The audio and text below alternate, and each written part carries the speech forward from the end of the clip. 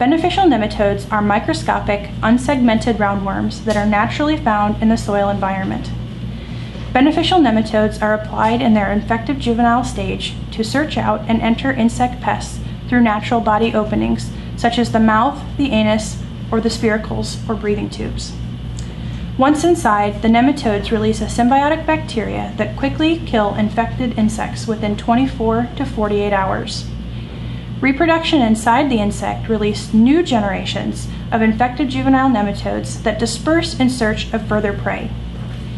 Even though reproduction occurs within the insect, it's always important to make regular applications of beneficial nematodes to continually fight insect pest populations.